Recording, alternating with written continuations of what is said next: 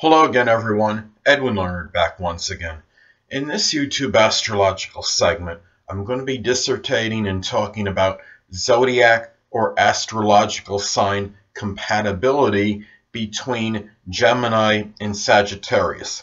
Now, a lot of this depends on whether the relationship is uh, platonic or whether it's a significant other situation or romantic sexual, whether this depends on the compatibility between these two people because they are opposite signs. Now, if this is a uh, platonic like friendship, they, they could be diametrically opposed in many areas. And if this, however, is a significant other situation, well, the, the actually the opposites can attract and you could have very strong uh, compatibility between these signs because each one can um, basically complement uh, the other and each can learn from each other. Now, the thing about this is they are both extroverted signs. They're both masculine.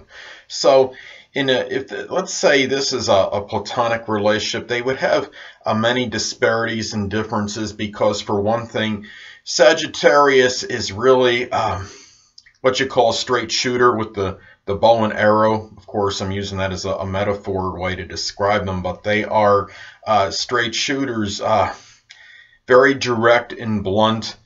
They lack often lack diplomacy. They could be very outspoken. It may generally not be malicious, but Sagittarius likes to get to the heart of the matter in a, in a way or, or hit somebody uh, directly with their statements, with those uh, sometimes those harsh arrows of truth, so to speak. While Gemini uh, inclines to be a little bit more like diplomatic. And Gemini, though not necessarily someone that, that's going to be a, that uh, a, someone that prevaricates or lies, will sometimes maybe stretch the truth a little bit in order to spare someone's feelings. So each of them may may oppose each other for this way of, of acting, as opposed to not as opposed to acting in the way each one actually acts. So Sagittarius may not like Gemini for that way of, of maybe as far as communication goes, and then Gemini may be taken aback by Sagittarius for the overly uh, blunt uh, nature of the person. And Sagittarius is more about profound learning things in a profound way in in deeper way uh, broad concepts learning a, a, subject thoroughly while gemini is a little bit more they're they're restless and they could be vacillating more. They're they're really they don't always have a lot of persistence and may learn things uh, superficially. So that's another difference. And then you have really um, gemini is a little bit more about being streetwise, street savvy, and I think Sagittarius is more inclined toward like the book smart. So you have that a little bit difference uh, with uh, as far as uh, Gemini and Sagittarius goes.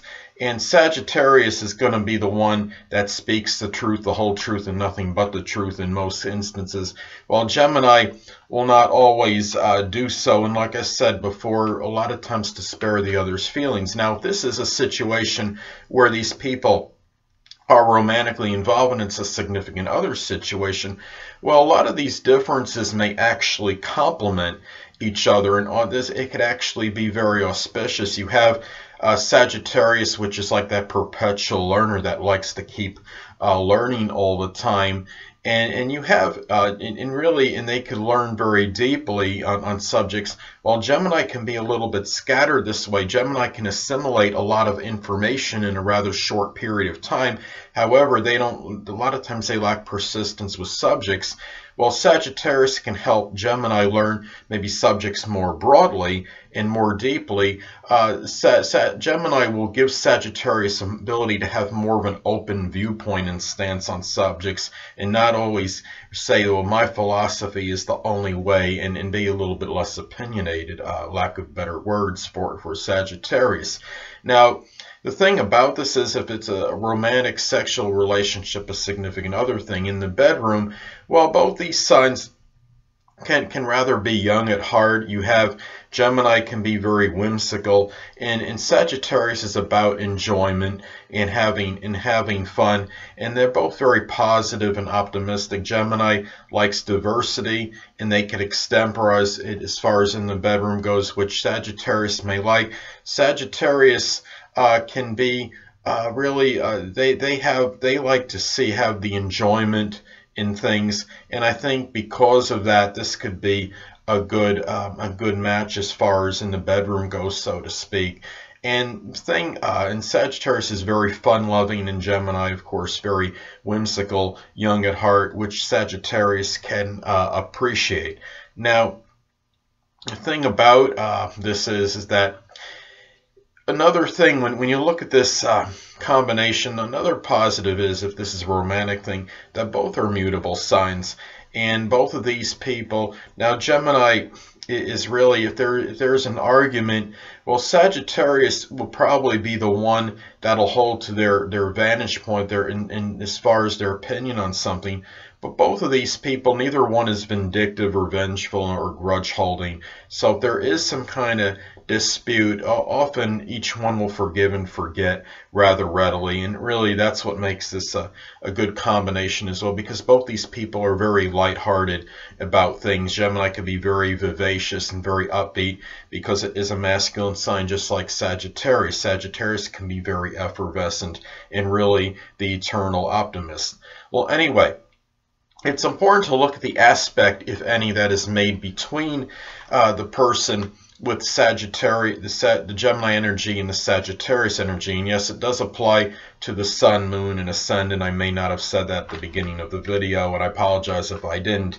Now, the thing about this is, it's um, if there, in many cases, there will be an opposition uh, between these people with these energies.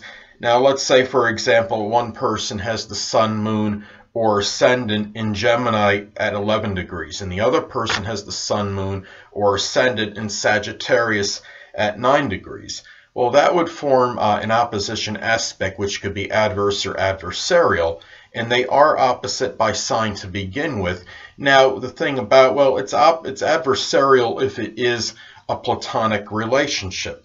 Now, and, in, in that would only accentuate or reinforce the negativity between uh, the, these two and the disparities and, in the opposition in viewpoints. However, if it is not platonic and is it's a significant other uh, situation, romantic uh, or sexual, then it could be auspicious and positive and can only accentuate the positive the, the positive element which is already indicated by the fact they are opposite by sign.